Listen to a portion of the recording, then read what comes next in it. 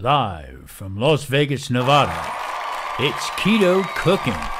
Hey, welcome back. I'm Tom, the Keto Cook. Today is Friday. That means cocktail hour. So today we're going to be making some meatballs, keto style, in a sauce that I had in the freezer, and also some Egglife wraps that I cut into uh, uh, noodles and into a little pasta. Nice glass of vino. Let's get this party going here. Now, in my meatballs, I like to incorporate some beef and pork together. There's some fresh sausage that I had uh, ground up eh, a couple months ago. And also I have some chuck there that I have in the freezer that I thawed out. That's about two and a half to three pound piece of chuck.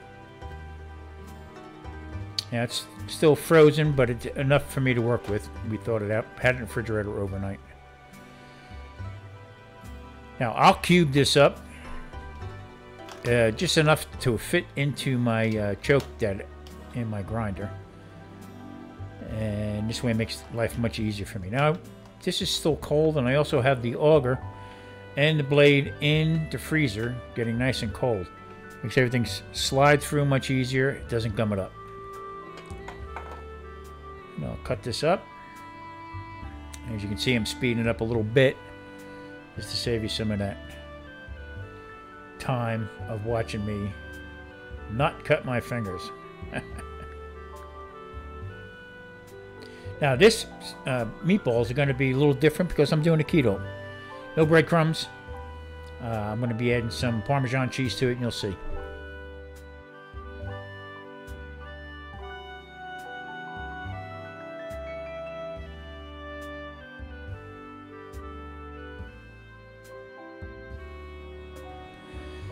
Now, when I mix my, my blend here, my spices that I put in there, I like to beat the egg up. That's my own pet peeve. Um, this way, I mean, uh, it, it'll blend up much better. Getting a little tongue-tied here.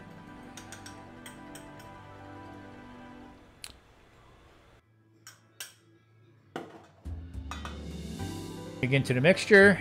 That is a half a cup of Parmesan cheese. That'll also help with the bind.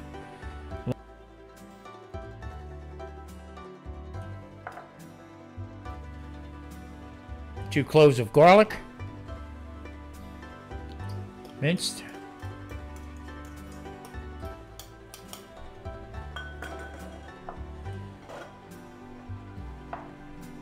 Now this is two tablespoons of minced onion, dried minced onion that I rehydrated.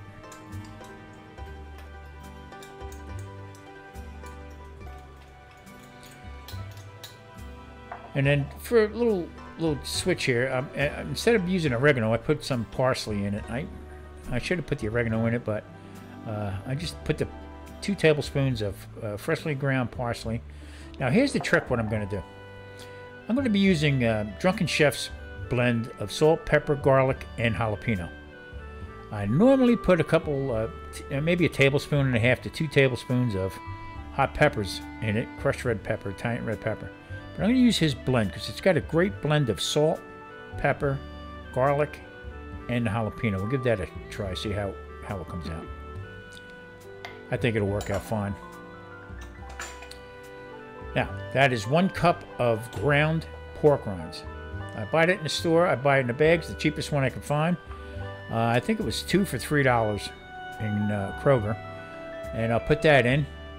That'll replace breadcrumbs. Now I'll add some wine to it. And whoa, whoa, whoa, whoa, whoa. Not that one. No, no. No, no, no, no. There you go. That that's the wine. That is a dry Chianti that I put in there. And I'm going to mix it up. Now, normally I don't like to hand mix it or hand blend it. I will put it into a food processor. It blends up much better, much more evenly. Plus my thumb. hey, like and subscribe. Hit that thumbs up. Not too hard, but uh, like and subscribe if you like what I'm doing here. Little pun, huh? Okay, ran it through the food processor. Now I'll take it out I'll put it into a bowl. And I'm going to chill it off for a couple hours. And then we're going to start this process of making the meatballs. That was in the refrigerator probably for about an hour and a half to two hours. Got it nice and cool. Now that's a, I believe, an ounce and a half of uh, ice cream scoop, and I'm using that to form the meatballs. Now I got the uh, Italian woman looking on at me, sort of sneering about what I'm doing. Okay, into the pan, non-stick pan. Now this has enough fat in, in the meatballs where it's not going to, actually not going to stick because it's a non-stick pan, but it browns it up pretty nice. So.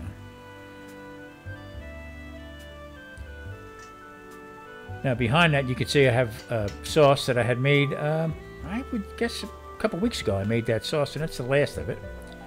And uh, this will work out fine. So altogether it's probably about three and a half, maybe four pounds of meat altogether. And that'll come out to about, there was 30 meatballs. And I think after I got done testing them, I believe I had 28 left. But who's counting? Now I'm going to brown these off and I'm going to put them into a glass casserole dish. But first I'm going to add the sauce to the casserole dish. And we're going to set the meatballs in that, and that's going to go into an oven 350 and we're going to finish it off that way. Now I'm going to add some cheese to this. Uh, I mean, you can add mozzarella cheese. Uh, I'm liking lately, I, have freshly ground up some, uh, shredded some Monterey Jack and some sharp cheddar. I'm liking that more and more. And I'm going to add also some uh, Parmesan to this. Okay, there you are. Now here's a little trick that I do. I, I like to put uh, film paper, you know, uh, saran wrap over the top of it first.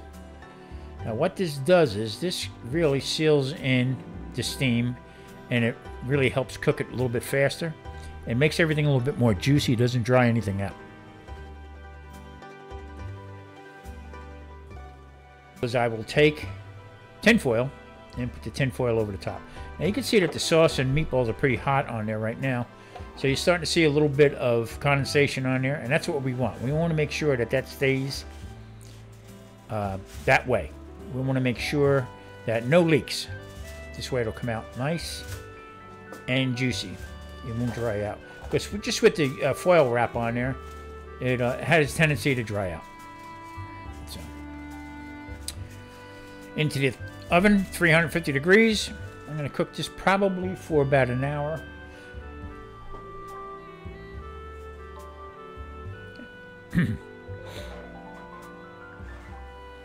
okay, now I also put it on another tray. Makes it easier to handle. Okay, there it goes. Hey, like and subscribe, will you? Not like a custom thumbs up, huh?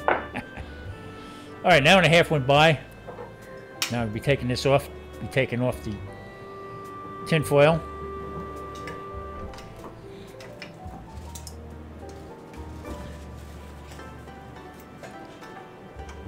Now this is what I'm talking about. As you can see, the condensation is still on, on the plastic there. Now that's not a tear in there. That happens to be uh, I guess no condensation. But look how juicy that is right there. The sheen that's on meatballs. That's why I like doing that method. Now, Parmesan.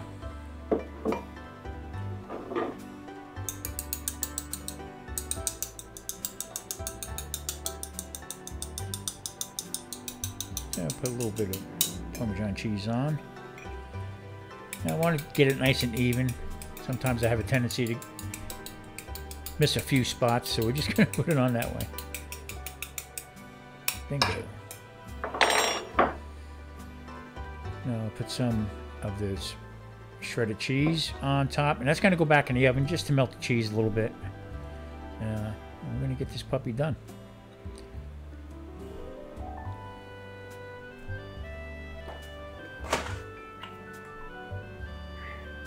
The sauce came out absolutely delicious. Hey, chin chin.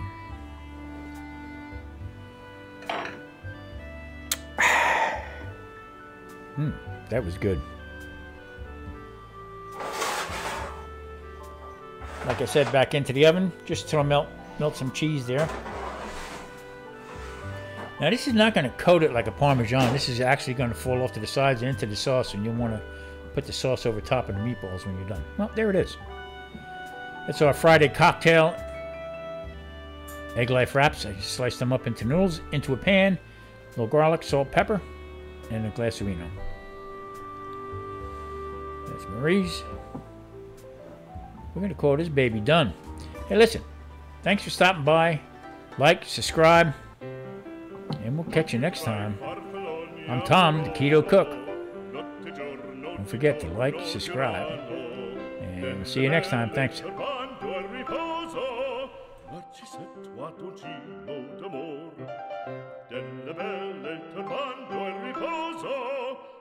Turbando il riposo Narcisetto a dolcino d'amor